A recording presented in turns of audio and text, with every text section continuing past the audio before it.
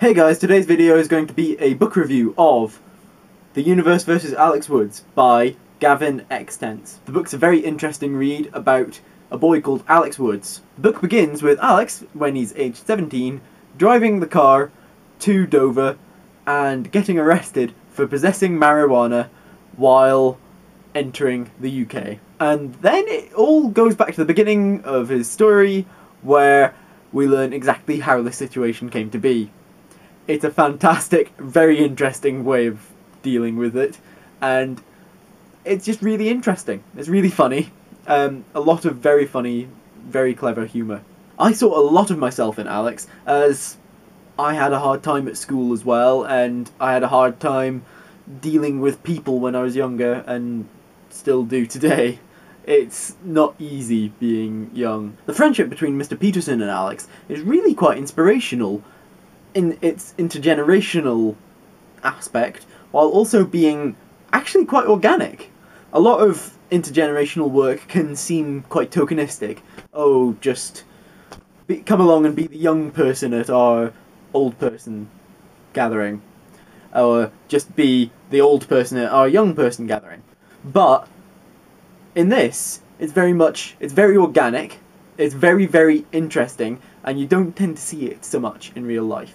I mean, I'm just weird in that I do have older friends, but it's not quite the same. Everything that happens is very interesting because of the interactions between Alex and Mr. Peterson and the people who interact with them and see their friendship. Another point I would like to talk about is the fact that Alex and Mr. Peterson set up a book club to talk about Kurt Vonnegut books. Now, while I've never read Kurt Vonnegut myself, it is a sort of goal of mine to eventually get round to reading him. I do, or rather did, want to set up a book club. And so I've done that fairly recently. Um, set up one using Skype with a couple of friends. And this book is actually on the list of books that we'd like to read. So eventually we'll get to that one on there. So that's going to be interesting to see what everyone else thinks about it. Finally, I would quite like to talk about one of the biggest issues in this book, which is a very, very difficult issue, it's a very controversial issue, which is assisted suicide or euthanasia.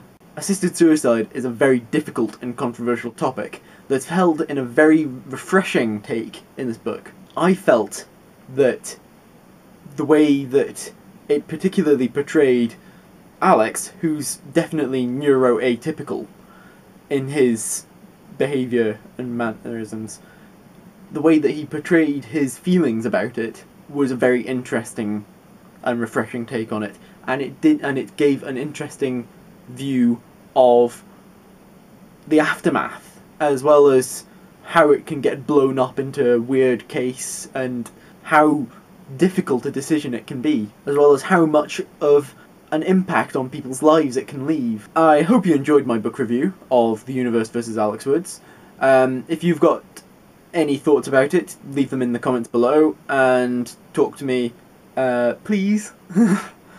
and like and subscribe and share and stuff if you feel like it. And I shall see you next time. Bye.